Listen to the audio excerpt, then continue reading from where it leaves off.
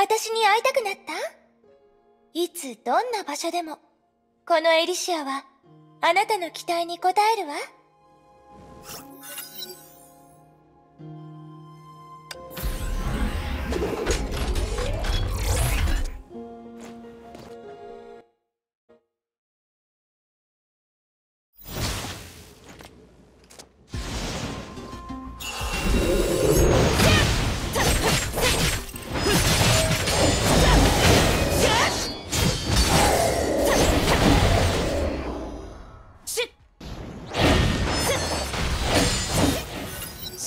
真相の答えは星空のように儚く。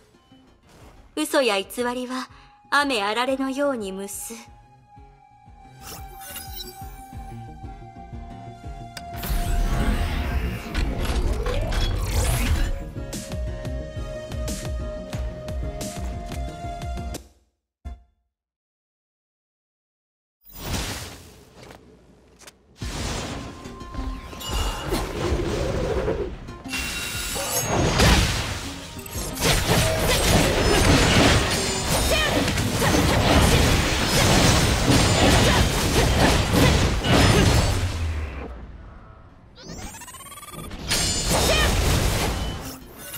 楽園での旅の最後を迎えても何も得られない可能性がある。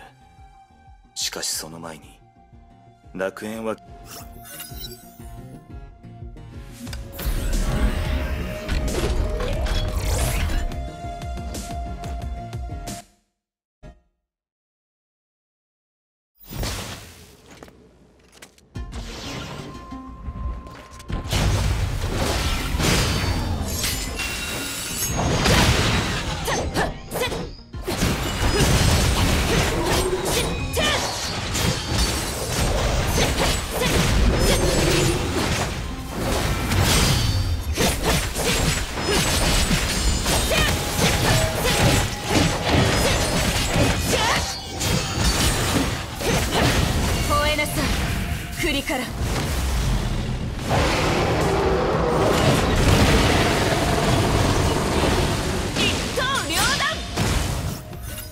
私のオペラにマイクはなく役者の歌声だけで会場に響かせてた。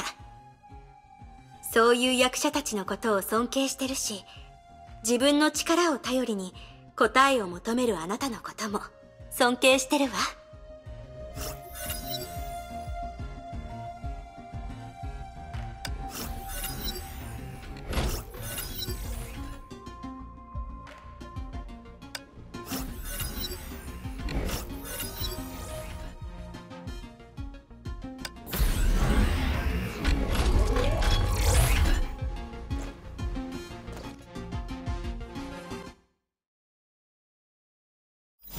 伝染雷鳴の時行きましょう。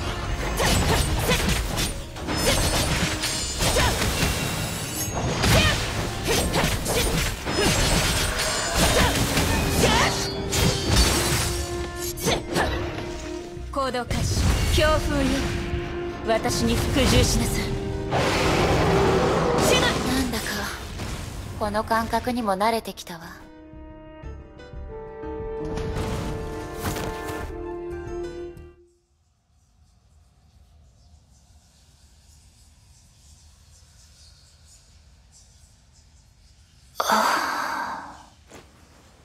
より冷静になったね。メイ。私の前に来てください。もう一度。自分に嘘偽りがないと思うならその「ください」はやめた方がいいんじゃないかしら。え？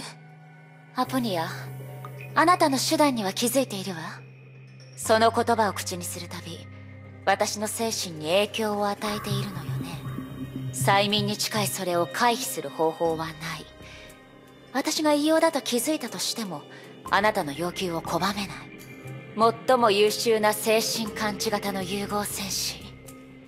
確かにあなたはその評価通りだったわね。こんなに時間が経っているのにメイはやはり悪意で私を判断することをやめようとしないんだね。その点において楽園がくれた教訓はあまりにも多いからよ。でもその能力は確かに想像を超えてたわ。あのペンダントあなたの言うつながりもその能力を強化するための媒介なのよね。私の意志が言いなりになった時からそれはあなたの言ったように己の使命を果たしたことになる。弁解するつもりもないよね。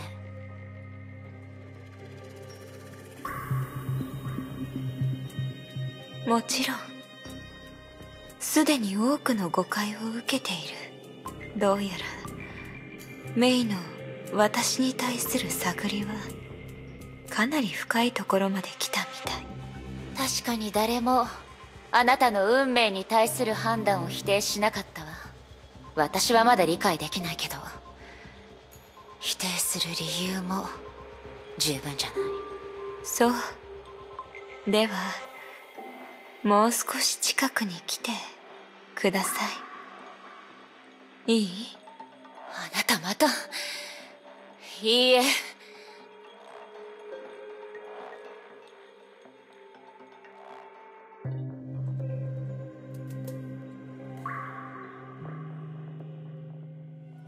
たまに私もわがままになりたい時がある。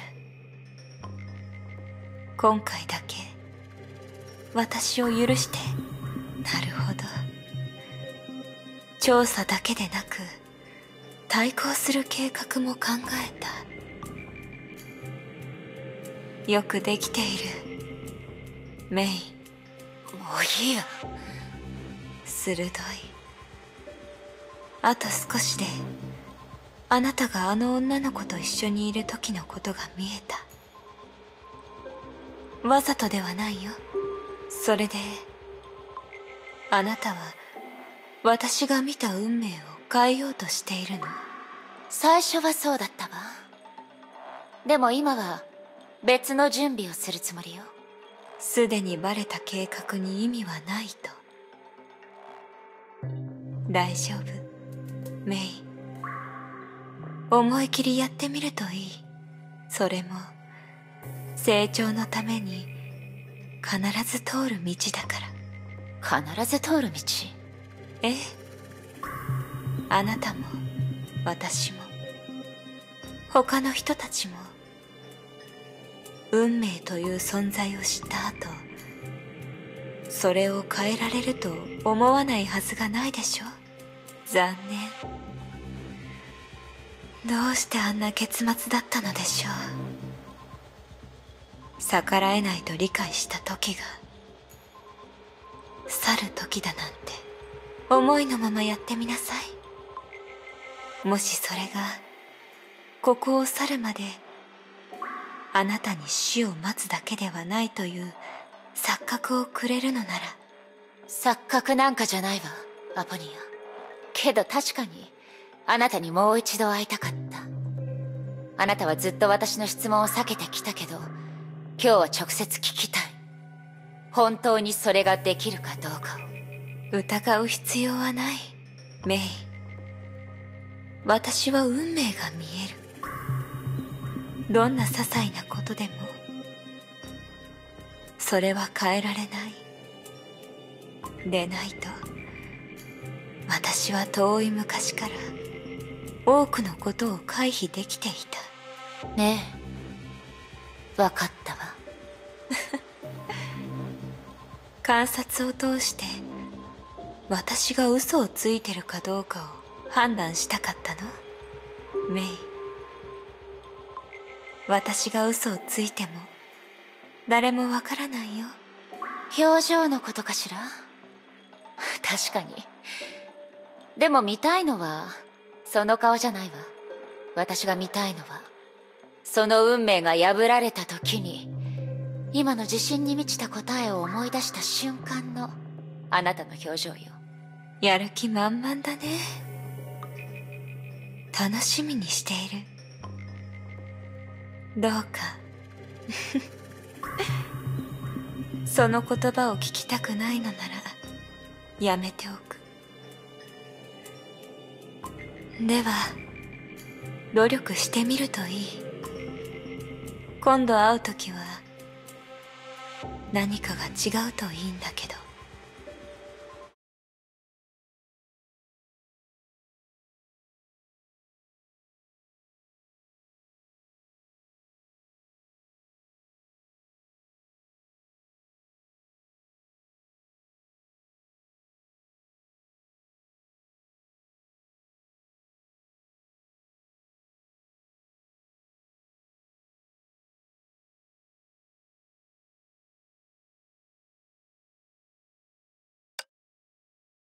前と同じね。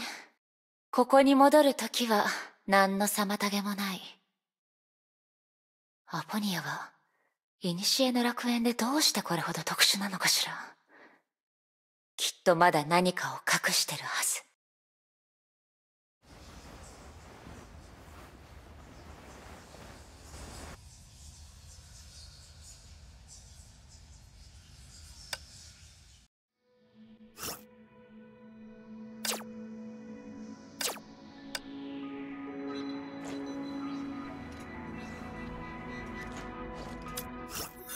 やあライデンメイ。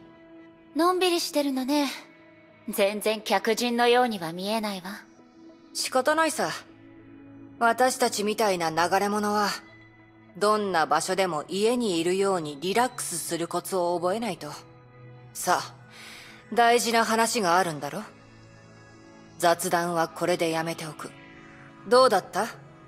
その戒律との会話は。何か成果はあったのか？変わらない。誰もがそれを本当だって信じてるわ。そうだな。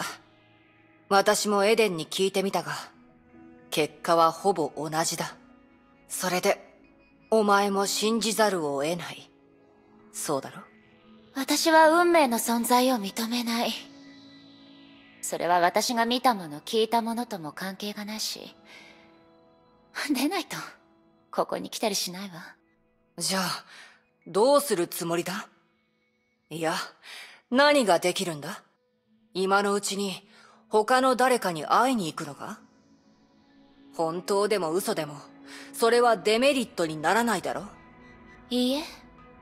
彼女が話した予言は、古の楽園のみに限られてると信じてるもの。この人為的に作られた世界の中でだけ、運命は何らかの決められた予言通りに進む可能性がある。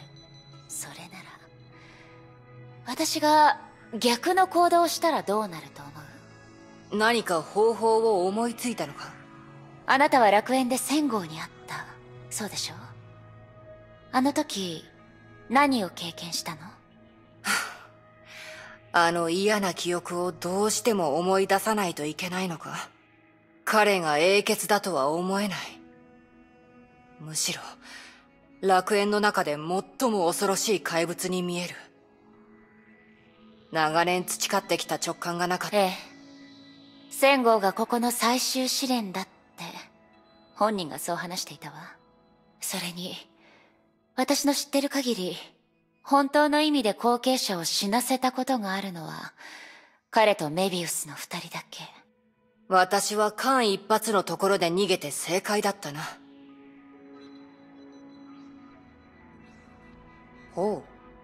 つまり、お前が思いついた方法はそれなのか？ええ。